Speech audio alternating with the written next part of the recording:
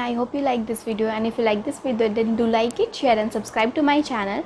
Also i have put the inktober 2020 playlist round here. So just check it out.